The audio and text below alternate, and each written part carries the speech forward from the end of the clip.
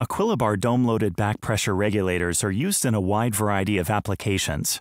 The body of the unit can be made from different materials. Inside the unit, you can see its straightforward construction. A diaphragm sealed by two O-rings is placed between the main body and the reference cap. The regulator is placed downstream of a process to keep its pressure constant. In this case, the process pressure is monitored by a pressure gauge. To set the pressure, a standard manual forward pressure regulator is used. This regulator is connected to the reference port of the unit and sets the required pressure in the dome of the Equilibar. The back pressure regulator will hold the process pressure with a 1 to 1 ratio.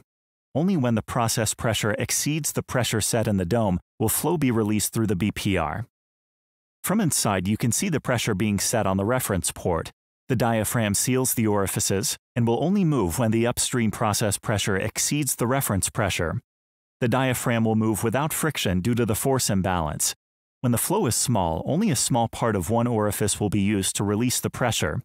When there's a rapid increase in pressure, the diaphragm will be pushed upwards, fully enabling the unit to release a large amount of flow while maintaining the constant upstream pressure.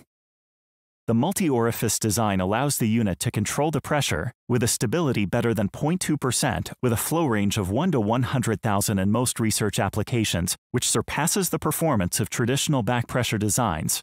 Since the technology is scalable, Equilibar can cover a CV range from 10E-11 up to 10 with a limited number of models.